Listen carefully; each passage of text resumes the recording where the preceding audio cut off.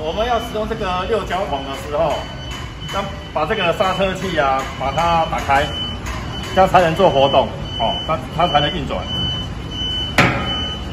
好，然后将我们的料丢进去之后，把门关上，铁关上哈。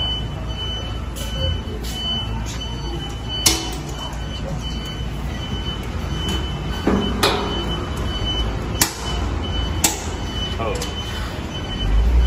然后再按照按照你的方向去转动，可以顺时钟转转个。三十秒一分钟，然后再回返回来，返回来再转，一转再转回来。哦，按照你的需求，转好之后，